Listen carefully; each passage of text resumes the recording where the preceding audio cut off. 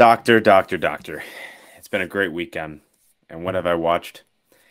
I watched two out of the three episodes of the Arnold documentary. Mm. And I'll say this again, I haven't seen the last episode, but I like it a lot. It does a good job. I was skeptical a little bit, but end of the day, it's objective. And we haven't gotten to the scandalous politics uh, episode yet, but the acting episode and the athlete episodes were both fantastic. Ricky, so I'll one up you. I watched all three parts and I love this documentary. That part two, it gave me like Last Dance vibes, where it just felt like you were watching in wonder of like the accomplishments of this person, just like when you're watching Last Dance, like you're obsessed with watching the highlights. And the thing I love about this doc is that Arnold Schwarzenegger didn't have final cut of this documentary.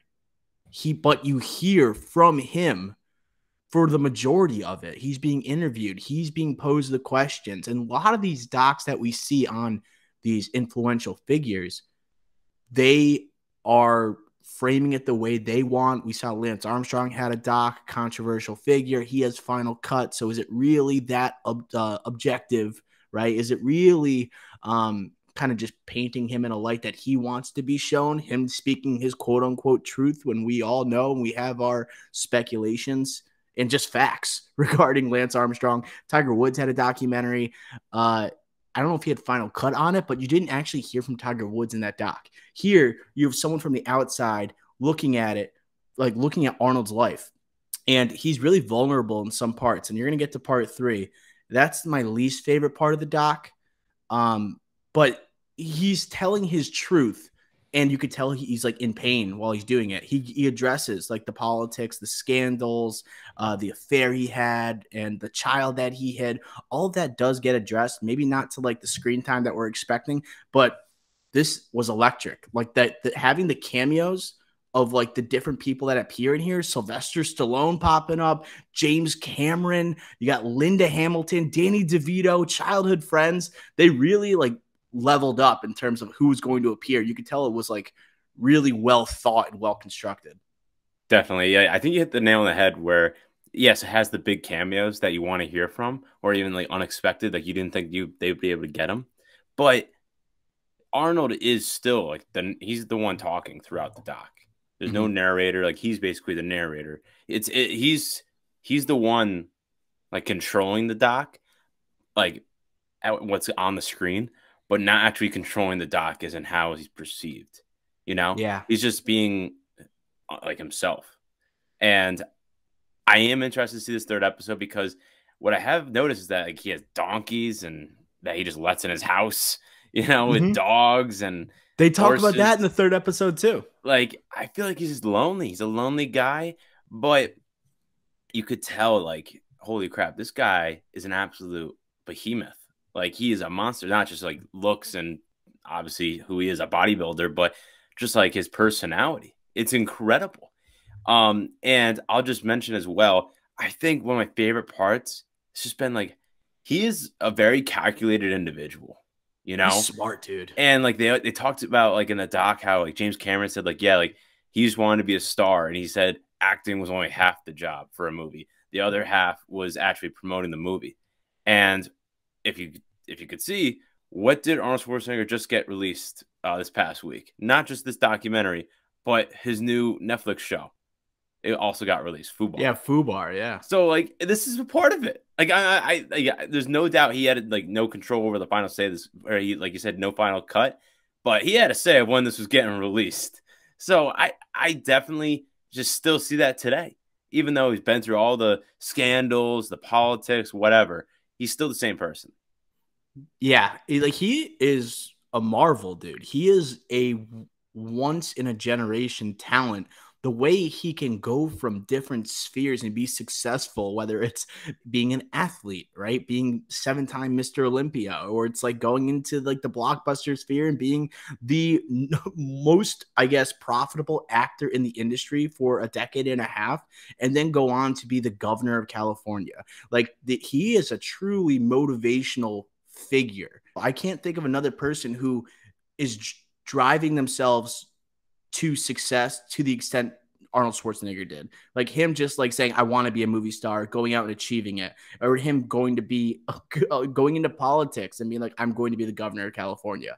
Like he wills things into reality. And I, I, what stuck out to me in the first episode, he was like, I vision things, I see them. And like he is the American dream, despite not being like a born in America. And like a huge part of this documentary becomes an American citizen. And then the, the third episode of this part of this uh, three part series is titled American, right? The first part mm. is like athlete, the second one is actor, third one is just American, right? What he's done for the people of the United States, it's kind of crazy because like he's from Austria. it's nuts. Yeah, and there's a great quote that he has too besides the visions. It's it's like I was born in Austria and I'm very proud of that, but I was made in America. Like he he's still like again he's a promoter man like I'm, he's a politician he, he's a politician too, yeah. yeah. he's a, pol- a, politician and a promoter and he's always been that way and he even said he and again we did the Pumping Iron review check that out if you haven't uh, listened to that already and they directly talk about Pumping Iron and I I love how like he was honest saying like yeah like when I said that I like the pump more than sex like that's not true. Like he's, he's just like I was like I'm to... performing. He was yeah. trying to prove he could be an actor in Pumping Iron, which is like a docudrama type of right. And it still took him a few years uh, until he can get uh, until he actually broke out as a leading man, even after Pumping Iron was so, such a phenomenon. So yeah, I, that's what I've been watching this weekend. It sounds like you did too. Obviously, can't wait to watch the third one. But yeah, like, highly recommend. I think it's a great watch, especially if you like. Again, like it's a great watch if you're interested in movies, if you're interested in like his tumultuous scandal, if you're interested in just bodybuilding, like pumping iron, that type of shit or stuff, uh, like I, it's like for a lot of different people, and I think that's also a, nice thing about it too. Yeah, you could hate watch it, you could love watch it, you could do whatever. Simple structure, but really effective. It hits every part of his life you want to know about. That's what I'll say about this documentary. And I think we actually nailed the pumping iron like how it's lasted and how important it was to Arnold's career. Uh, that I highly recommend you guys listen to our our throwback review from a couple weeks back of Pumping Iron. And I last thing I want to say about this Arnold doc, I think Arnold Schwarzenegger's got to go down as maybe on the Mount Rushmore of, of cigar smokers. That was a cool thing they talked about too. How like I just thought he was a big cigar guy, but he's like actually one of the guys. Like he, there's a reason behind it, of course he's like promoting cigars. Like he like yeah, and, and he also a big part of part three is that he has the cigar tent where he brings like different people to pitch him ideas while he's governor and things like that. So like it becomes like a part of who he is. And like I made a Mount Rushmore of, of cigar smokers in my mind. Uh, Arnold is in the top four, but I also have Michael Jordan, yeah, Red Auerbach, and Winston yeah. Churchill. Yeah, I was gonna say Churchill. Um, those are good. Auerbach, forgot about him. That's a good shout. Yeah, I, I think honorable honorable mention. Not a real person, but Tony Soprano. yeah, not a real person, but good mention. Yeah, uh, but they talk about the Hummer, how he was like synonymous with the Hummer. You know, yeah, like and they go was, into his business side, like his real estate, his entrepreneurship. Like the dude was just in all different sectors and successful in all different ways. And like I think the final thing I'll say is that he like he said this a bunch how like he's not smart. Like he's smart, but like I think he's more calculated and driven. Like he wasn't like his parents like he had a hard upbringing, but like they weren't like phenomenal athletes. Like he had like he literally was just working out nonstop because he just wanted to become uh, a bodybuilder. He wanted to become the best in the world. He was just driven, and he was his upbringing was just all about competition with his older brother, just being better at him than everything. but he just had a stronger will and is just more driven and stronger. Uh, not and then became stronger literally. So I think at the end of the day, it's also like you don't have to be the smartest or most ath- like God's gift ability. Like he literally has just done it himself, mm-hmm. like through his drive, which is also just admirable. And again, there's some other drawback. There's obvious drawbacks, cons to this guy's life too, which they get into, which is interesting. But I, I just I love this doc. I thought it was really interesting from all points of view. And something I took away uh, as we wrap up, it's he's a great listener. Like he he relied on people that were experts in their industry. They saw the talent in Arnold and he opened his world and opened his perspective to other people and wanted to hear and learn from them, whether it be acting, whether it be bodybuilding, whether it be like politics. Like he opened himself up to learn and he's a he's a sponge. He just absorbs information and then like executes in a way that suits to suits to his true self, you know? Highly recommend this doc. Last last thing they did talk about the Sly Stallone Arnold rivalry in the 80s.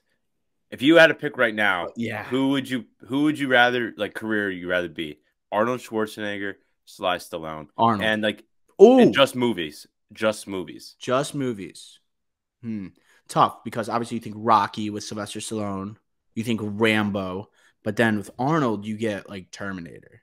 And I think wow, that's tough because so Stallone is the more more I I guess the most iconic character with Rocky. It's like them. It's Rocky versus the Terminator. I you know you could you I, could make I an argument want, that Terminator is more iconic. Because I, I, love how the doc actually went through the rivalry there. I, I wish they spent more time on it because yes, I watched a whole episode whole based episode. on that. Yeah, and uh, they, it seems like they really cut a lot of Stallone out of it. Like he was in, only in it for like a quick second, a couple interviews. Okay, yeah. we're, we're, they were only at his house for like James Cameron's minutes. in a lot of this, by the way. He was in a lot of this, but um, I think I would take Arnold Schwarzenegger because I would Still. want to be Arnold Schwarzenegger, dude. Yeah, but like, I if so, if it's live, live, Commando, I I, I would take Arnold just because a bodybuilder. Um, like I, I think it's just, just different.